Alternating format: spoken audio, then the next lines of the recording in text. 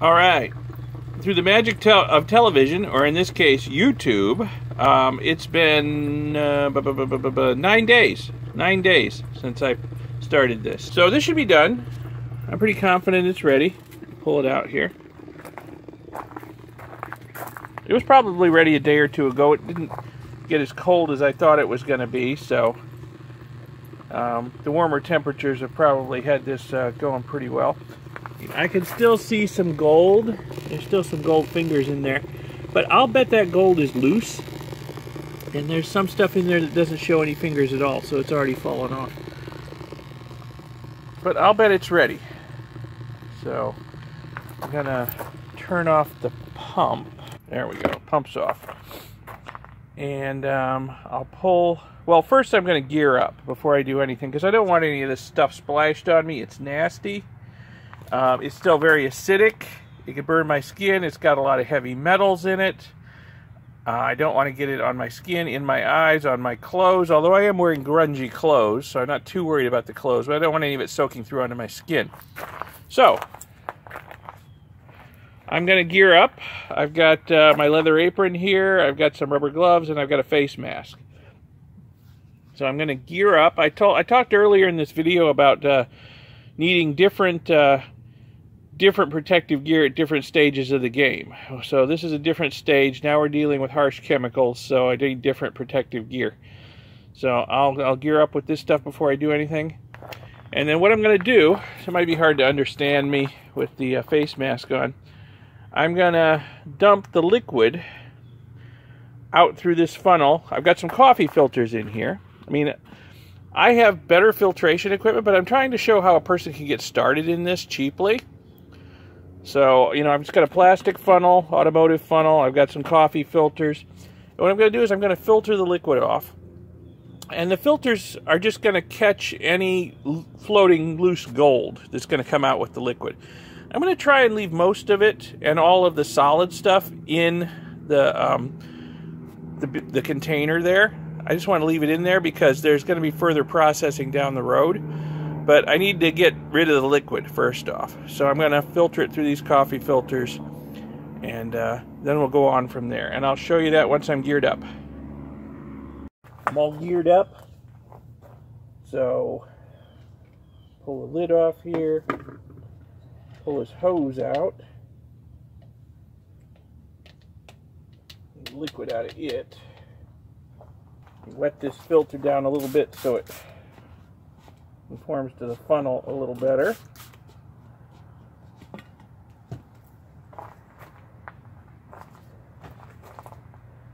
And like I said, I just want to pour off the bulk of the liquid here and let it filter through. Just want to catch any floating bits of gold in the filters.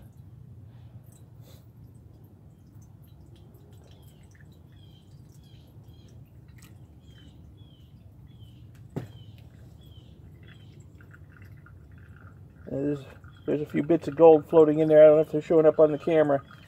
But there's a few bits of gold there, so the filter's doing its job. It's catching them. Right, this is going to take a few minutes. I won't make you watch all of it. All right, I've done uh, filtering off all the liquid. It's all down here in this big beaker. And let me show you the gold that the filter caught. Camera out of the tripod. So there's a fair amount of gold that was caught on the filter. This was just loose gold floating around in the liquid. And there's still a lot of gold that seems attached to the fingers, but I'll bet they're really not. I'll bet they're just sort of sitting on there. We'll see. So anyway, what I'm going to do is I'm going to take this filter and I'm going to put it over a clean beaker here. And I'm going to start spritzing it with uh, clean water. I want to get as much of that heavy metal salt residue out of the filter as I can because we're going to want the gold that's in this filter. You know, we don't want to throw that away. But we don't want to bring a lot of this heavy metal residue along with us. So I'll keep spritzing the filter until basically it turns white again. I get rid of all that green color. It'll take a little while and a few spritzes. Now this liquid here, don't throw it away. A couple reasons. Number one is toxic waste. Number two, it's still active. You can use this liquid for your next batch of fingers or even um, gold-plated pins it, it's actually more active than it was when it was fresh because the metal salts that are in it now are highly corrosive to the base metals that gold is plated on. So this stuff is actually more active now than it was before. I'm not sure how many times you can reuse this liquid. I've never run up against a limit. If it seems like it's working going a little slow, just just throw a little more acid in it you know, and, and maybe a, a dash splash of peroxide, and it, it rejuvenates it, and it, it, just keeps working, keeps working. So I'm not throwing this out. I'm going to keep it for my next batch. I've got a bunch of pins I want to run, and I'll use this to uh, do the pins. Maybe I'll film that too. Now we need to deal with these, and I'll show you how I do that. Let me put the camera back up on the tripod and get set up. We've got all these fingers in here that still seem to have a lot of gold on them. Let me grab a piece. There, that looks like that's still got a fair amount of gold on it. But I'll bet it's just sitting there. I bet if I take it and put it in this water and give it a little rub and a little swish, look at that. All the gold comes off. I need to rub the other side a little. All the gold comes off and it's staying in the water. So there we go. So that's that's clean of gold now. There's no gold on that. You grab another piece. That one's got gold on it. A little swish, a little rub. Both sides. This is easier with two hands, but I'll probably block the camera if I do that. And you can see, we're gold free again. And the gold is staying in this beaker of water. Grab one more. I have found that this is the easiest way to get the gold off of fingers. Um, there's other ways. You could use like a spray bottle with just some tap water and, and it, look it comes off on my fingers. So I have to rinse my fingers every once in a while to get the gold off of them you can use a spray bottle. That that works pretty well but it tends to blow the gold all over the place and after a while I'll notice it's all up the sides of the beakers and a bits of it on the workbench and I have to go chasing after it. But if I just put it in the water rinse it and rub it the gold comes right off sinks to the bottom of the water out of the way and uh, everything's clean. So I need to go through this whole tub of fingers and get all the gold off. And it only takes a few minutes. So anyway, like I said earlier, I won't make you watch the whole process. That one, that one's got almost all the gold off. I just have to just have to give it a quick rinse to get a few pieces stuck to it off.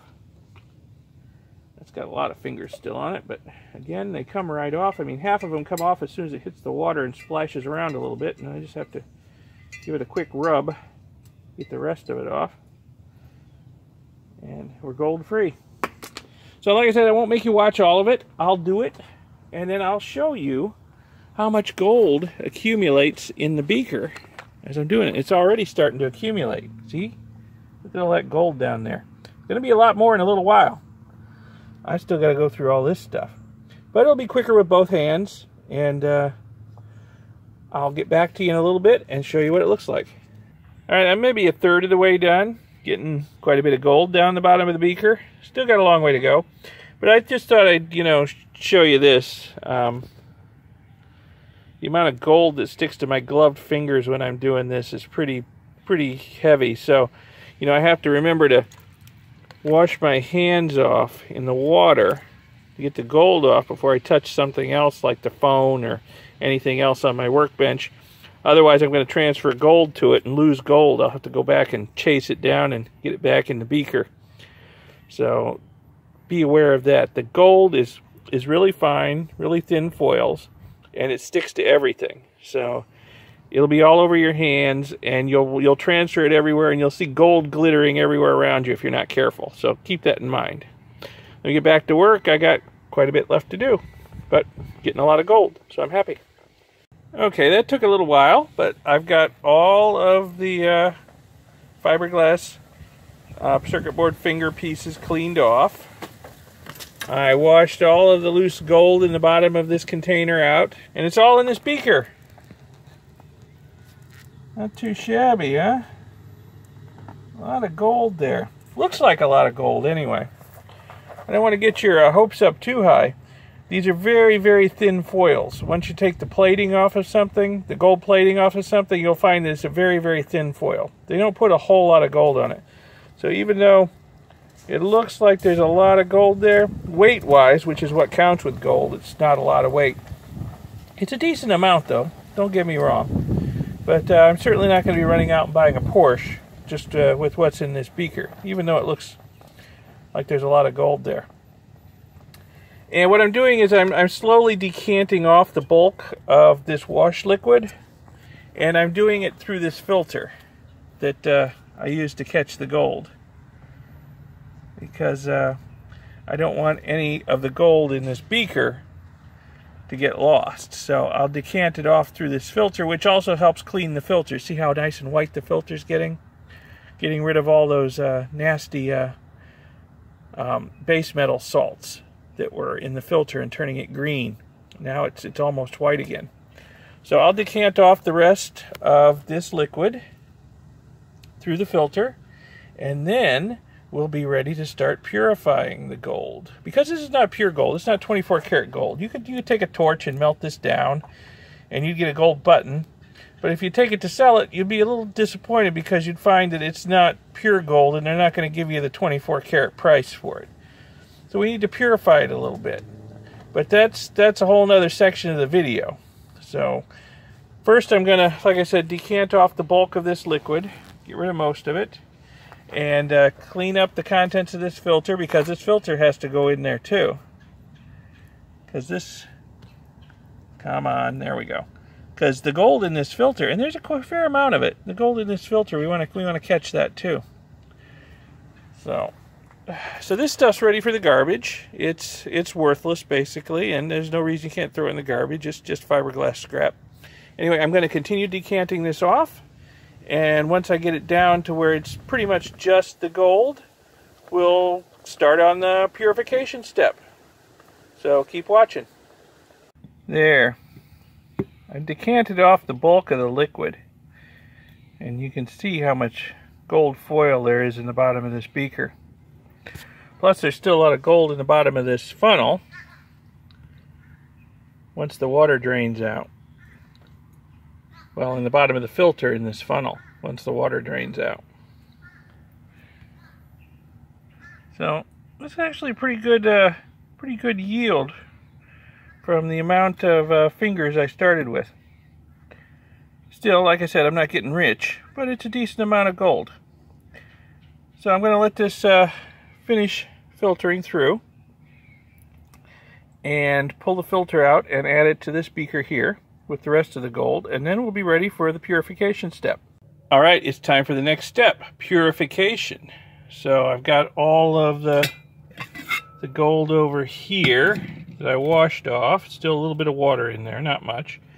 And I've got this filter over here that I used for decanting uh, the, the liquid through that's got some gold on it. I'm just going to fold this up and drop it right in here with the rest of that. So all the gold is now in one beaker. Put that aside.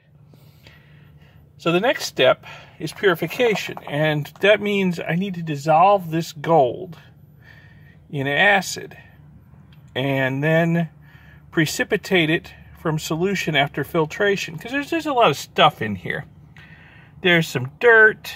There's, there's going to be pulp from the paper filter. There's little bits of plastic and conformal coating from the circuit boards. You know, there's all kinds of gunk in there besides just the gold. So, I want to dissolve the gold in acid. Um, once it's all in solution, filter it so I get a nice clean solution, and then precipitate the gold out of solution. And it'll be clean gold then. And there's a couple different ways we can do this. We can use um, Aqua Regia. But uh, since I'm making this uh, video for beginners, most beginners can't make true Aqua Regia. They don't have access to concentrated nitric acid. Um, we could use poor man's aqua regia, which is probably within reach of most most beginners. Um, or we could use um, another method. We could use the hydrochloric acid and bleach method. Now, this doesn't work for like chunky gold very well, I've found, but for these really, really fine foils, thin foils, this works pretty darn well. This combination will dissolve the foils and create chloroauric acid. And then once we have all the gold in solution, we can filter it. So that's that's the goal, to get the gold into solution so we can filter out everything that isn't gold. What I'm going to do is, I'm going to put in 200 milliliters of acid. And then we'll start adding pipettes full of bleach until we get the gold dissolved. So let me do add the acid off camera. Okay. There we are. The uh, I put in eh, probably not quite 200 milliliters of acid into this uh, beaker with the gold. Now, hydrochloric acid on its own will not dissolve gold. It just can't do it. But if you add some agent that can oxidize the gold, then the acid can dissolve it. And there's there's quite a few different agents. You know, nitric acid, if you add it, will make uh, aqua regia, and that will do it. Uh, concentrated hydrogen peroxide will work too. But this regular household Clorox bleach, believe it or not, will do it because they've always they always tell you don't mix bleach and acid when you're cleaning, right? And the reason for that is because the result is chlorine gas. Well, chlorine gas will oxidize gold. And once the gold is oxidized, it can be dissolved in the hydrochloric acid. So I've got, you know, a pipette full of uh, bleach here, and I'm going to add it. Let's see if we can see what happens when I do. See the fizzing?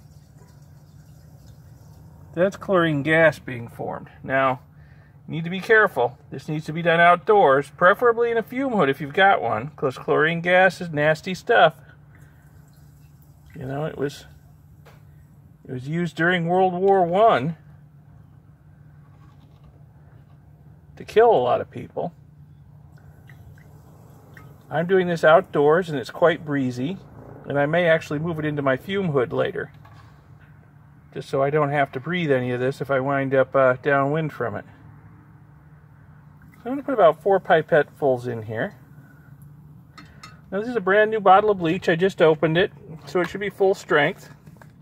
Bleach has been sitting around for a while, may lose its strength a little bit. You may want to get a fresh bottle. They're just pretty cheap a bottle this size is pretty darn cheap. It was under two dollars. So the chemicals I'm using here are, are inexpensive and easy to come by. So we'll just let that sit a little while and see what happens. I probably don't have enough bleach in there to dissolve all the gold, but we'll just let it sit for a while and see what happens. I can always add more. Okay, after waiting about 10 minutes, not much was happening, so I added four more pipettes or about half a pipette worth of uh, bleach to the uh, beaker. And I went off and did some other stuff for about 15 minutes and came back. And I don't know if you can tell, but the color is getting a distinct yellow to it, which is good because that's yellow is the color of gold in solution, so that's good. Uh, the reaction, I wouldn't call it vigorous. It's kind of a cool afternoon here by Florida standards. And uh, I'm using household bleach, which is not super concentrated. But uh, I'll bet it's getting the, the job done. One way we can tell for sure whether any gold is going into solution is do a stannous chloride test. I've got some freshly made stannous chloride over here. I just posted a video about um, how I make stannous chloride and uh, how useful it is for processing gold. So let me get a little bit of this solution out of here with a pipette, just a few drops. Put it on a white spoon. Bit of a yellow color to it. That's a good sign. That's a good sign. Yellow is the color we want. And then let me get a few drops of the stannous chloride solution and put it on the spoon too. And let it sit and we'll see what happens.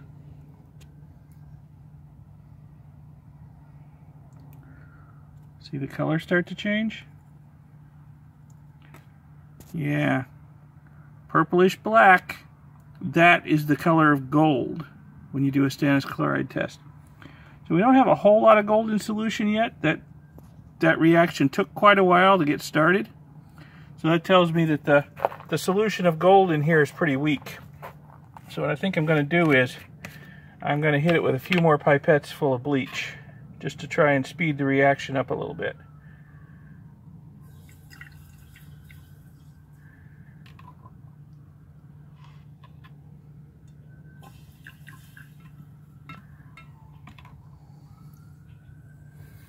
Put it on the hot plate too and warm it up a little bit. That would definitely speed up the reaction too.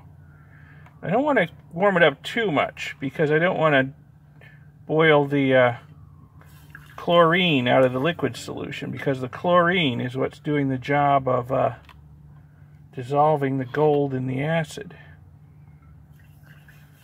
There, I'll leave that alone for now. And we'll see what happens. Hopefully we'll get a significant amount of gold to dissolve here in the next few minutes. And I'll show you what it looks like once it starts dissolving. Well, I went away and worked on a project for about 15, 20 minutes, came back, and it's taking on a pretty deep yellow color. And looking at it from above, I would say that somewhere between a third and a half of the gold has dissolved. There's not near as much gold in there as there was. So it's working, it's just taking its time. Probably because I'm using um, household strength bleach, which isn't very strong. But it is working. But I think I'm going to try and speed it up. I'm going to add a little more bleach to it. A few more pipettes.